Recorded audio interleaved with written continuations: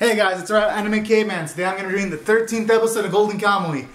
And I gotta say, this episode made it seem like it was going to be just a completely relaxing episode after some of the epic things that went down in season 1 because it was nice to see Asirpa teach Sugimoto more things about nature, about the Ainu culture in regards to in wintertime, that's where men shine because that's when they do hunting. But in the springtime, that's when the women in the Ainu tribes, um, that's where they shine because they do all the harvesting and planting and all that kind of stuff. So for one, I like that. It makes the world building in the show much more immense because we get to find out more about Asirpa's culture. And then simultaneously, I like how as the episode progresses, it took that they took that little stepping stone and then it stepped even further because when it revealed that Nopperabo, he's actually it didn't actually necessarily explicitly say it, but when Tsurumi was speculating that he could be a Russian partisan that's trying to lead some kind of revolution, not lead it, but support it, and that's why he tried to take the Ainu gold from these seven Ainus that tried to gain independence for the Ainu from the Japanese. That type of stuff made me like the show even more because it shows that it's going to be ambitious and involve people from different nations. So that's another plus about this episode. It shows that this anime, there's going to be more than meets the eye. And I like that kind of stuff. At least I hope.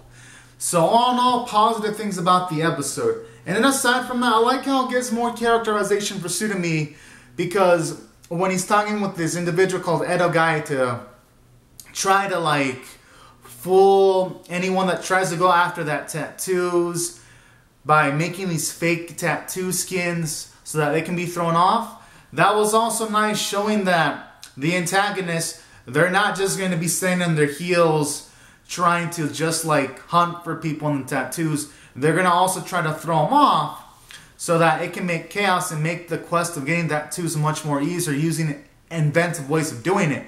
And I like that too. That should bring an extra angle into this anime as it progresses. So that's another plus. And then it had a lot of quirky scenes with Tsurumi's all like, oh, Kitty, showing off that he has a soft spot for animals and making him feel like a character that leaves off the page writing wise. So those are also more good elements about the show because it shows that he isn't just Mr. Serious all the time. He has a little playful personality within him when he's not in like super epic dangerous situations. So that's those also that's more positives.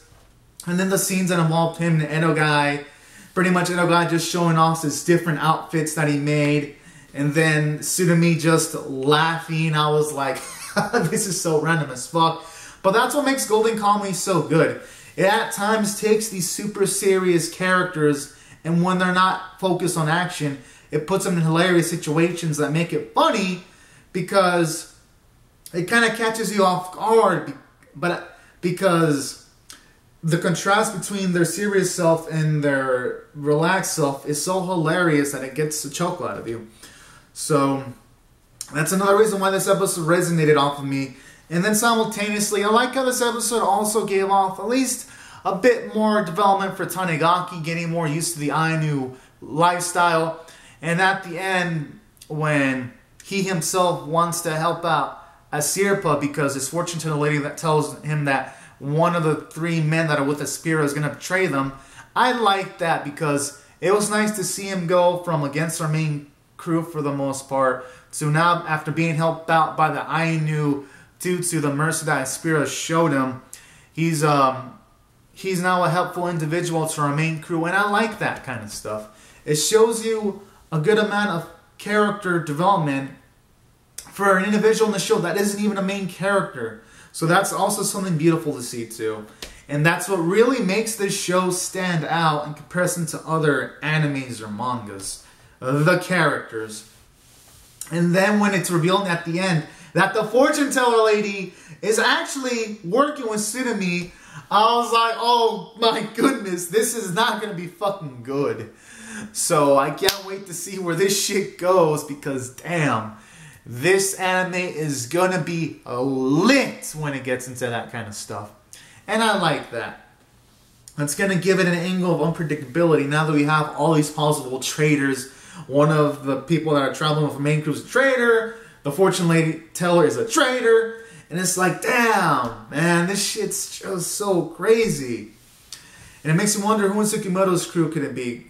Could it be Shiraishi that's the traitor? Or could it be that Ainu dude that's a traitor? Who the fuck knows, but I cannot wait to find out. And taking all this into cons- oh, and the artwork. Now that we see like springtime, it's a nice contrast from the wintertime, and it looks really, really beautiful and vibrant. The artwork, and then you even get to see some adorable moments with um, Asirpa when she like eats a lot of these vegetables that kind of gives you a black color after like eating it in the face, and then when um, when Shiraishi and um, Sugima out that she ate too much, that shit was hilarious, and I like that. It kind of makes it feel like a family-like dynamic, especially when Sugimoto was. Even though a lot of movies and shows do this, where you put the the um, sheets on the person that you're taking care of or that you like. You, that shit was adorable when uh, Sugimoto did that for Asirpa while she was asleep, and I like that kind of stuff.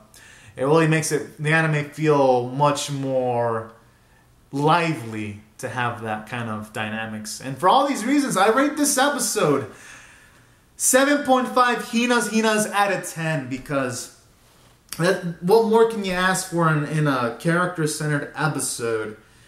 And then you even get some a few plot twists here and there like these type of episodes in other animes, they would be fucking normally boring because most animes have bland characters and you're like, I just want to see them do epic shit.